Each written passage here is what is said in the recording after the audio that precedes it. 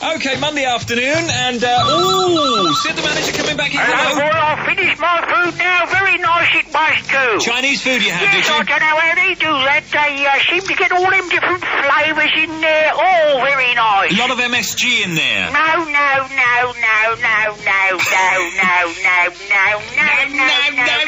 no. I don't want you saying that. Up where I go, they don't use none of that stuff. I thought they all did. No, of course they don't. Natural flavours, you never see a fat Chinese man, do you? They're always very slim, Good very point. deceptive hips. Deceptive hips. Yes, yes, yes. You'll never see a fat Chinese man do that. Food's very good for you, you know.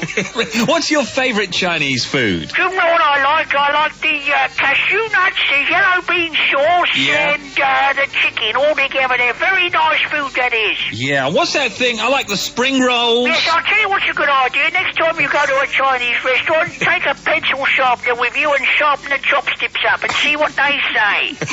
but uh, normally they turf you out in the street, but it's worth doing for a bit of fun. See, I'm very hungry. oh, listen, I've got to go now. I'll speak to you later.